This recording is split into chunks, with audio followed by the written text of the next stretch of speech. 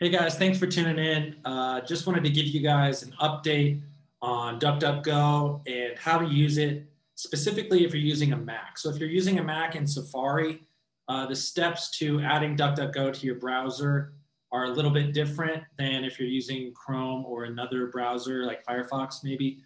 Um, so I just want to give you guys a look at what DuckDuckGo looks like when you're using a Mac with Safari as your browser.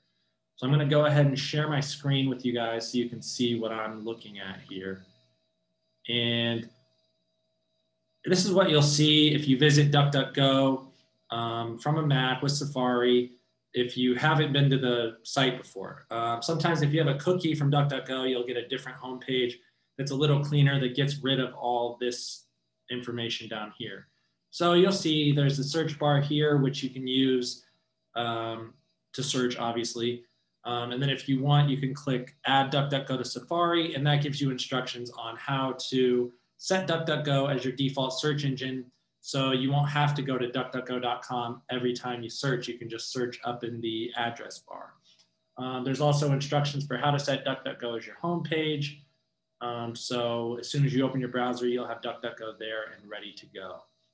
Um, so I've kind of run through this content before, um, but DuckDuckGo offers a browser extension that basically just switches everything over to DuckDuckGo. So when you search, um, your browser won't by default go to Google, it'll go to DuckDuckGo.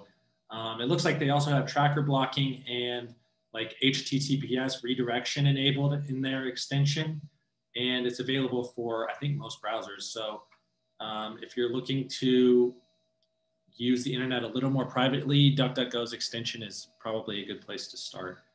Um, obviously, in the middle, DuckDuckGo is a private search engine.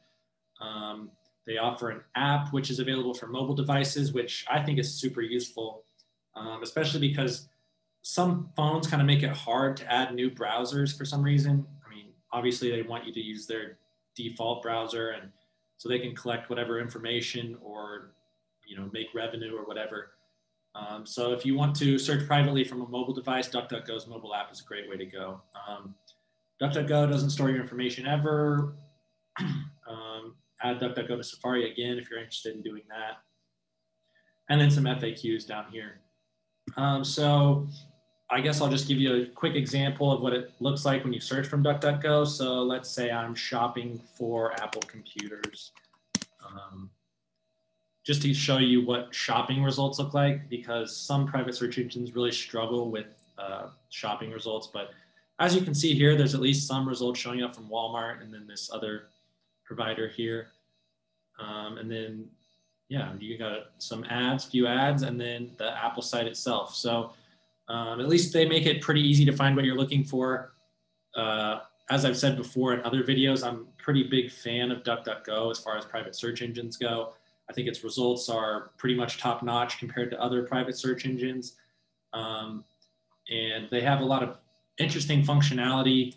They have like a calculator, um, I think some other widgets that are kind of interesting.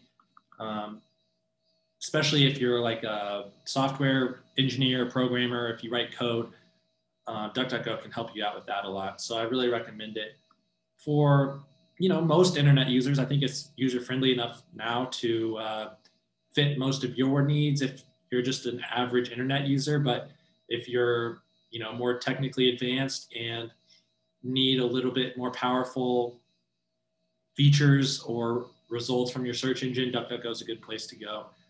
Um, so yeah, that's what DuckDuckGo looks like um, on a Mac.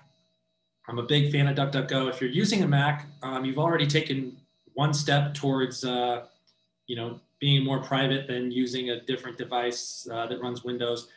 Windows has more privacy issues, honestly, just because there's more users on the platform. Um, so I hope this was informational, helpful for you. Uh, I'd really appreciate it if this if you've made it this far, like the video and subscribe to my channel so I can continue to spread privacy around the web. Thanks for watching.